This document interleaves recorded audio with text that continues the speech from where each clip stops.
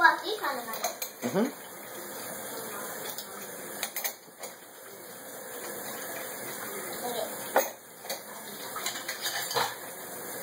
Put your um sponge down for a second, yeah.